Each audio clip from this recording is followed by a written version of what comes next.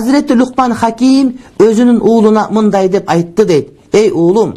сен дайыма тилиңди о кудай таалам менин күнөөмдү кечир аллахумма игфирли о кудай таалам менин күнөөмдү кечир аллахумма игфирли кудай таала менин күнөөмдү кечир деп айтканга көндүр дейт яғни астағфируллах деп айтқанға тилиңди көндүр анткени ушундай бир убакыттар бар ошол убакыттарда кудай дуа кайтарылбайт сураган адамдын суроосу кайтарылбайт дейт биз билбейбиз ошондуктан биз дайыма тилибизди көндүрүп аллаху мегфирли аллаху мегфирли астагфирулла дайыма айтып жүрө турган болсок мына ошол кудай таалам дубаларды кабыл кыла турган кезекке туш келип калган болсо сөзсүз түрдө кудай таалам күнөөлөрүбүздү иншалла кечирип жиберет эмне үчүн күнөөнү кечиргенин талап кылабыз эмне үчүн күнөө кечирилиш керек деген суроолор албетте күнөөнүн кечирилүүсү адамдын бейишке баруусуна жол болуп берет күнөөлөрдүн кечирилүүсү жогоруда айтып өткөнүбүздөй бизге көптөгөн пайдаларды сөзсүз түрдө берет адамдардын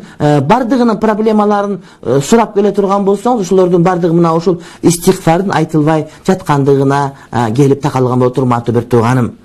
قالت عائشة رضي الله عنها توبى لمن وجد في صحيفته استغفارا كثيرا Hazreti Ayşe ekebиz айтат пайгамбарыбыздын аялы момундардын энеси Hazreti Ayşe экебиз айтат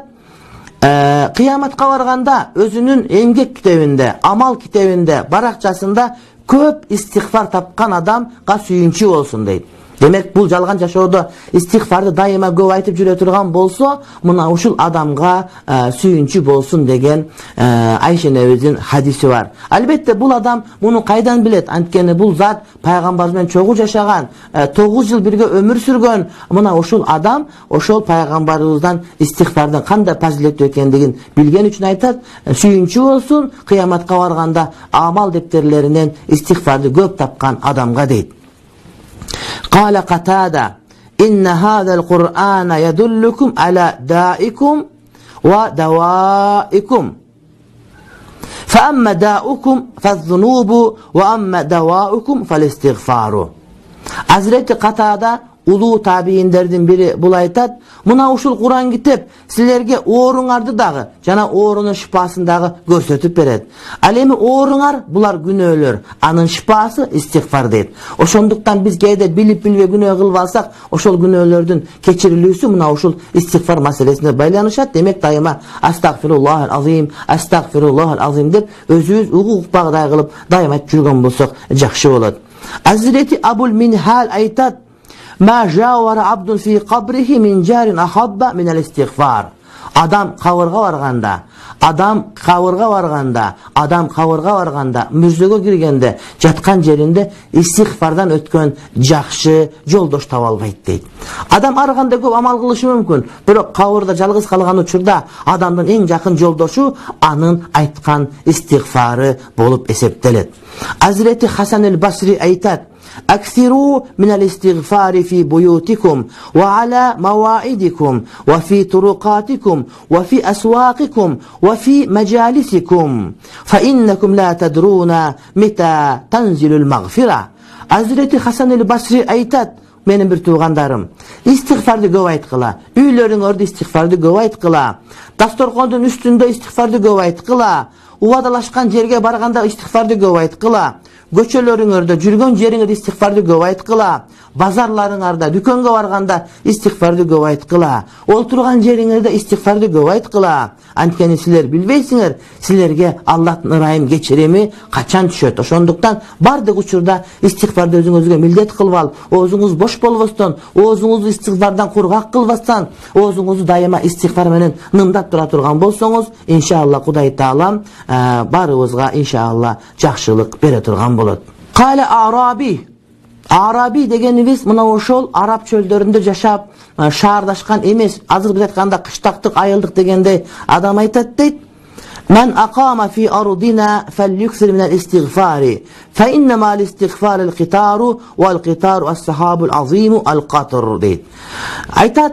кимде ким биздин жерибизге конок болуп келе турган болсо же биздин жерибиз жашай турган болсо истигфарды көп айтсын анткени истигфар менен бирге берекелүү жамгыр келет дейт демек барган үйгө барганда аларга биз белек көтөрүп барабыз ошол белек көтөрүп барганда ошол адамдар сүйүнөт а бирок биз ошол белек апарбасак же апарсак деле эң чоң белек кылып ошол жерге барганда астагфируллах астагфирулла деп айтсаңыздар ошол ошол жерге түшкөн берекет ошол жерге түшкөн белек болот сиздер дагы биздин академияга кош келдиңиздер ушул жерде айтып отурсаңыздар мына ушул жерге иншалла аллахтын ырайым берекети сөзсүз түрдө түшөт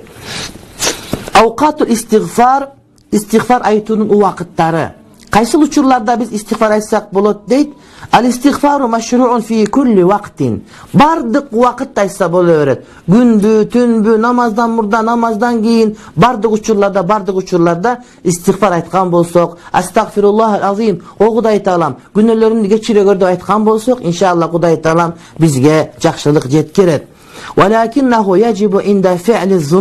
а бирок адам кайсы бир күнөө кылып алганда истигфар айтуу бул адамга милдеттүү парз важип болуп калат. Эгерде бирөөнү жамандап койсоңуз же бирөөнүн күнөөсүн мындай бир алып өзүңүзгө аны гыйбат кылып койсоңуз же болбосо ушул сыяктуу бир күнөө иш кылып же болбосо айтор бирөөнүн көңүлүн оорутуп койсоңуз анда дайыма истигфар айтыңыз бул учурда истигфар айтуу урматтуу бир тууганым важип болот.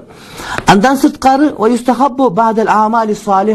эгерде бир жакшы амал кылсаңыз мисалы үчүн намаз окудуңуз же болбосо орозо кармадыңыз же болбосо урматтуу бир тууганым сиз зекет бердиңиз айтор салих амал кылгандан кийин истигфар айтуу мустахаб болот эмне үчүн биз намаз окуп туруп этегинде истигфар айтабыз анткени намаз жалгыз гана кудайдын ыраазылыгы үчүн айтыла турган окула турган маселе ошого кожо көрсүн рыя кирип кетпеди бекен ошол амалыбыздын кээ бир жерин чала кылып албадык бекен деген сөз менен айтор ошол кандай гана бир жакшылык иш кылсак этегине истигфар айтыш керек эгерде сиз барып мечитке жардам берип тыйын таштаган болсоңуз бир дача суу айылындагыларга апарып жардам берген болсоңуз ошондон кийин дагы астагфируллах азим деп айткан болсоңуз мына ушул урматтуу бир тууганым мустахаб амал болуп эсептелет